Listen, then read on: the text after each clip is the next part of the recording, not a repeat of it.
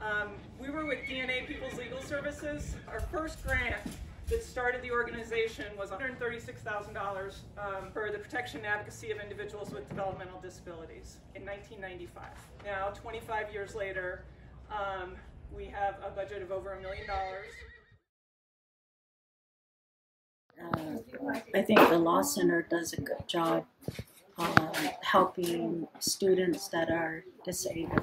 I got more, um, I guess, information on like my my rights as a person with a disability, and and I've learned that um, the more people you know, the the better um, your life gets. What's most meaningful to me about um, the Law Center is the work that we do in our client communities.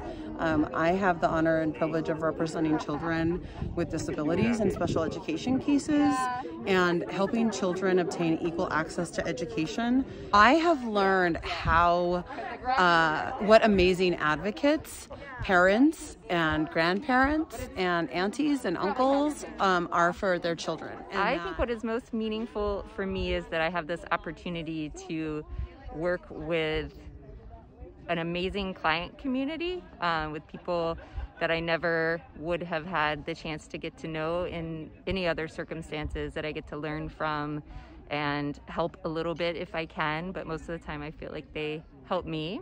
One thing that I've really um, learned that's impacted me a lot from our client community is the idea of hózhó and everybody's relationship to each other and how that's just really important for everyone's sense of well-being in the world and connectiveness together as a community.